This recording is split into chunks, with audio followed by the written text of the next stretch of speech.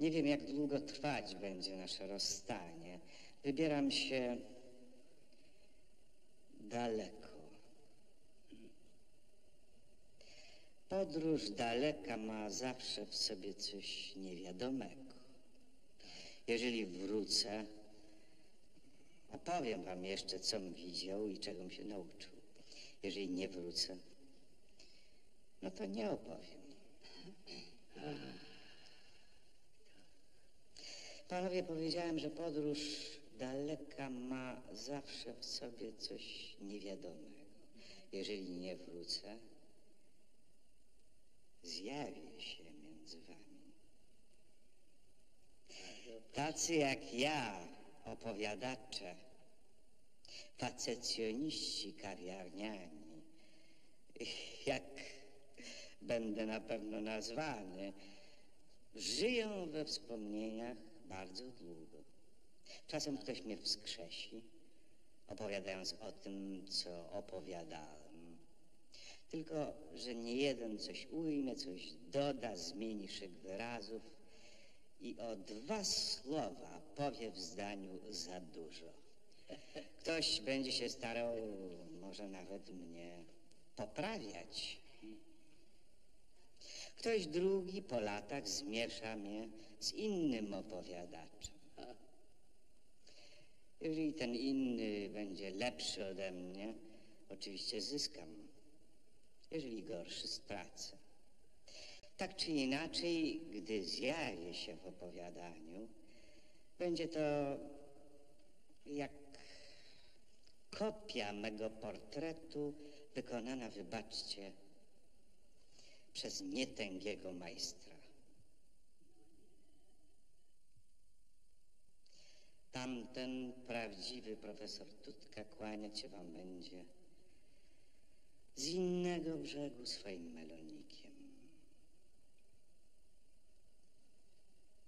Panowie,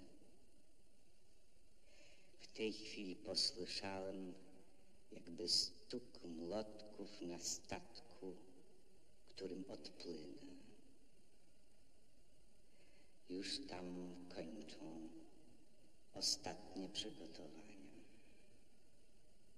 Tak.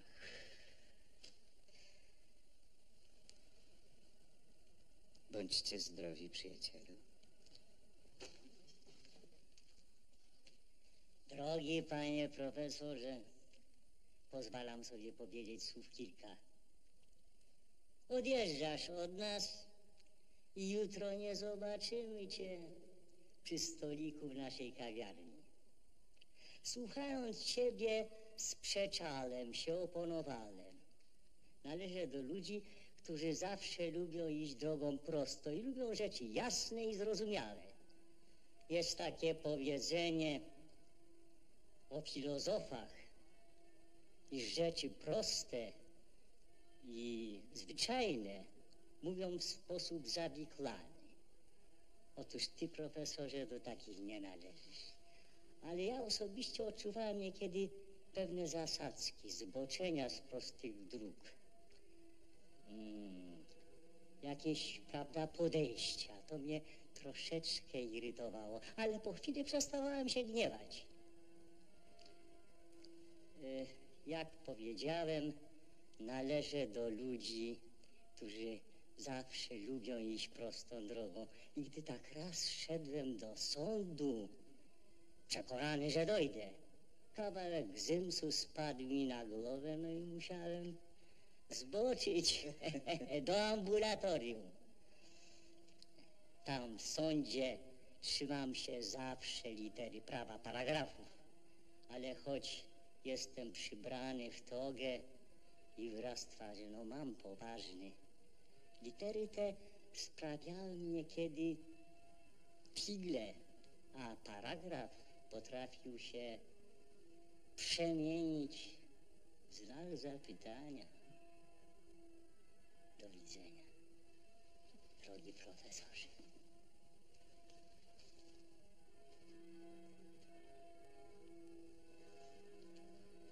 Opowiadaniach swych brałeś pod uwagę te figle, te niespodzianki, czyhające na człowieka zbyt pewnego siebie. Umiałeś nas pocieszyć.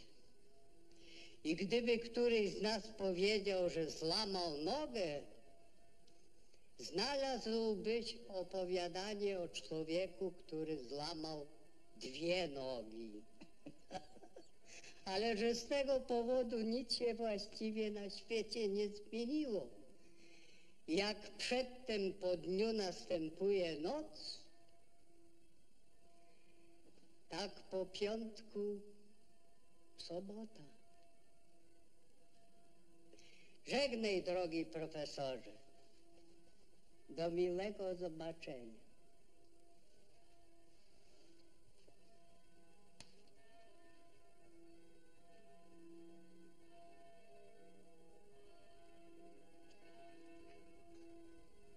Żegnamy Cię, drogi profesorze, myśląc, że znów po odbytej podróży ujrzymy Cię w naszym gronie. No, żegnamy z żalem, a powitamy z radością.